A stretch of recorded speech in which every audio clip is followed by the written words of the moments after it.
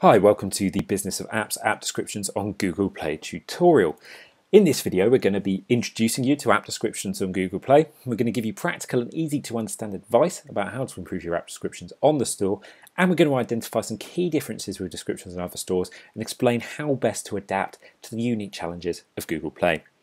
I'm George Osborne, I'm the Chief Content Officer at the Business of Apps, and previously I worked as Head of Editorial Content for MagicSolver.com for two years, helping the company launch dozens of apps on the global stage, before I took on a freelance role in which I now work for a number of companies, including Pocket Gamer Biz as their events editor, I run my own mobile focused blog and mobilemavericks.eu, and I work for a number of clients assisting their mobile marketing and content marketing efforts. But when it comes to App Store descriptions, one of the things that's really going to reassure you about writing a great description for Google Play is how similar it is to writing a great description for the App Store. So even though you're going to be doing something slightly different and you're going to have to make a few minor changes. The main principles that are basically in place for every single store apply on Google Play. So you want to make sure you master the first line to get a really make a really good impression. You want to make sure you keep a friendly and branded tone so that people feel like they're actually getting closely involved with what you're doing. And you want to make sure that you inform so people know exactly what your app is about. But you know, when it comes to Google Play, the big difference, and the difference that we'll talk about a bit more at the end, is the fact that App Store optimization and SEO plays more of a part within the App Store description. So there is a limited character count, but it's quite an extended character count of about 4,000 characters. But beyond that, there's actually the opportunity to insert things like backlinks into the description, and it's going to be that that we'll focus on at the end. But before we get there, we're just going to run through the general tips for producing that great App Store description that you may have seen before in one of our previous videos, or that you may just want to have a quick refresher of quite right now.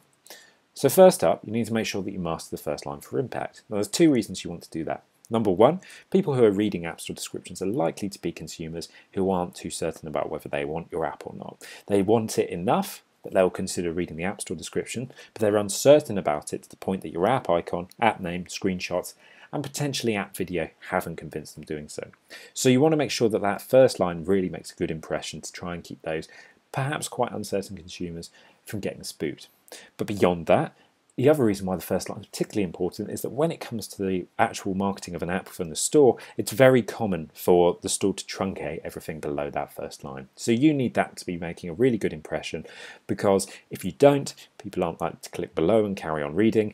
And if it's not a particularly first good line, people might just not even go and read the rest of the description at all. So what is a good first line? Well, I think we found three little examples here and basically where we've picked them from is at the point in which they truncate on some on a store like Google Play. So when it comes to Candy Crush Saga, this is perhaps my favourite of the lines. Switch and match your way through hundreds of levels in this delicious puzzle adventure. Isn't it the sweetest game ever? Like not only does it explain what the game is about, not only does it detail the fact that it has hundreds of levels, it just keeps this sort of sweet and friendly tone. It you know makes a little play on word, delicious puzzle adventure, the sweetest game ever. And it's something like that that I think really creates this sense of fun around it and is responsible for making it a great first line.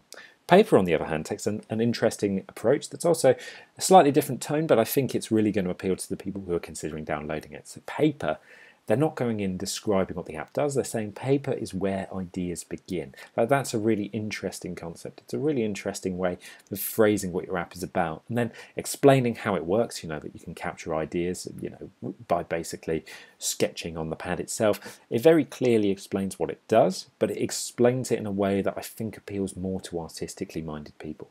And then lastly, you've got Facebook. It's not the greatest one on here, but it really explains the advantages of actually basically making sure that you've got the Facebook app. So everyone's going to know what Facebook is. So they don't have to go through that process of potentially explaining what it's about. But what they do need to do is sell the benefits of using it versus, say, using the mobile website or versus the benefit of just going online. So what they say is keeping up with friends is faster than ever. See what friends are up to, share updates, photos, and videos. It's pretty basic, and there's no way around denying that it's basic, but it's effective. It tells people what the app does and how you know it's more useful sort of in a certain context. So the fact that it's faster than ever shows you the real benefit to it. So for each of these three apps, they've really made sure that that first line counts. But then beyond that, we're looking at sort of keeping a friendly, potentially branded tone. So I've pulled out both Candy Crush and Paper to carry on with this comparison because they both, as I mentioned in the last section, have this interesting tone about them. So Candy Crush Saga is very much aiming more for that casual consumer market. It's aiming for people who would maybe just pick up a game based on what they see at the top of the App Store. And so the fact that they've using stuff like Join Tiffi and Mr. Toffee in their epic adventure through a world full of candy, you know, it, it's very simple, but it, it does give you that sense of sort of fun, of whimsy. It's that there's that whimsical sense that you're going off on this kind of epic adventure, the deliciously sweet saga. It's just basically a very, very simple and effective way of making sure that people feel that they're coming into this game that really lives up to the name Candy Crush Saga. Whereas Paper, as I mentioned previously as well, it's all about building that experience. Instead of it being that kind of friendly invitational tone in which people are trying to convince you that it sort of fits in with that fun description that people have gone for.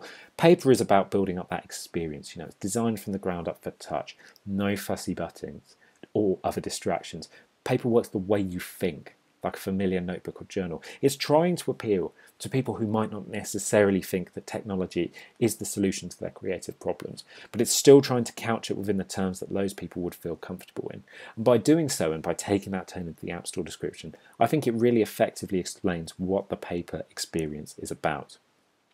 And then lastly, once you've managed to do that, you need to make sure that you write to inform your readers. So I've picked out Candy Crush Saga and now I've gone and added Evernote into this because there's two different elements to this that you've got to do. The first is you've got to inform your readers about what actually is contained in the app. And the top tip is to basically use bullet points as a quick and simple way of doing that. But basically Candy Crush Saga, they put the fact that it's got tasty graphics, it's easy and fun to play, hundreds of levels, leaderboards, and items to unlock. I mean, it, it's very rudimentary, but you know, by keeping in with that kind of friendly tone that I've mentioned, it explains very clearly what the game is about. Evernote, on the other hand, does something else that App Store descriptions increasingly need to do from a legal perspective, which is actually explain certain things such as pricing options, legal things, uh, you know, such as the fact that it contains in-app purchases. And so here, it really quickly explains the way that the pricing works. So it's free to download and use, but if you get Evernote Premium, which are for a variety of costs, either monthly or annually, then basically you can take full advantage of the remainder of the services. And it's basically that kind of thing. It's informative and okay, it's perhaps a little bit dry. But actually, all of these descriptions will now need these things. With increased regulation and with the Google Play Store now forcing developers who use in app purchases to basically list the pricing range of their in app purchases as the price of the app, things like this are an important way of making sure that even if you're keeping a fun and entertaining App Store description, that these kind of cover you. They provide that legal coverage, they provide the base to make sure that people know that you're informing consumers about what you might be getting into. And so these general tips about making sure that first line really shines, keeping a really good branded tone, and making sure that you're actually informing users about what they're downloading are all the basis for a great App Store description. But when it comes to Google Play, there's three extra things that you really need to consider. And in particular, they're all related to the fact that there's App Store optimization opportunities because I think it's Google's background as a search engine that I think they've understood and appreciated that having the opportunity to use the App Store description as a way of increasing your visibility is a smart way of going about things. So what you've got to remember within this is that number one, keywords matter in these descriptions because there isn't a keyword field on Google Play. You've got to make sure that you sprinkle things throughout. Now we've got other videos on the business of apps which explain how best to go about doing keywords, but just remember the sort of the major principles for App Store for just search engine optimization and transfer some of them across. So you want the main keyword to be in the title, you want it to be in the first line, you want it to be sprinkled around in sort of a percentage of about two to five percent of the text, and then beyond that you want to maybe have sort of about one percent to two percent for other potential keywords that you want people searching. So you need to take that in mind and basically keep that when you're going forwards. The second thing you need to do is you need to basically add backlinks into the app. So you need to make sure that you're linking to Twitter, that you're linking to Facebook, and that perhaps you're linking to further things like the company website and other apps. And the reason why is that basically you've just got to make sure that they're in there because a full HTTP or a full HTTPS link does get hyperlinked. So you can send traffic from your Google Play description directly to another app to another window, to another website, without them having to copy and paste and put it in the search bar. So that's very handy. And then just in general, as I mentioned as number one, just applying SEO lessons to your description is really important. So, you know, keeping that keyword sprinkled, but making sure you don't go over the top with them, making sure that your app description is informative and that it really serves the purpose. And remember just that as well as being basically available within the actual Google Play Store itself on mobile, Google Play and Android are much more friendly the idea of basically providing App Store descriptions and apps from the web. So people can just download them much more easily by purchasing online. So remember that there's that opportunity as well that a good App Store description won't just help you get elevated in the App Store optimization rankings, it will get you elevated in the web page rankings as well. And so that's really it for this video about Google Play App Store descriptions. If you want to make sure that you're keeping up with everything that's going on in the world of the business of apps, or you want to make sure that you're there when basically these great new videos keep getting added to the site, make sure that you like this video to show how much you appreciate it. Leave us a comment if you want to ask us a question or want to just basically leave your thoughts on the video. And remember to subscribe as well, because that way, when new videos come, you'll be one of the first to see them. That's it for now. I'll see you later.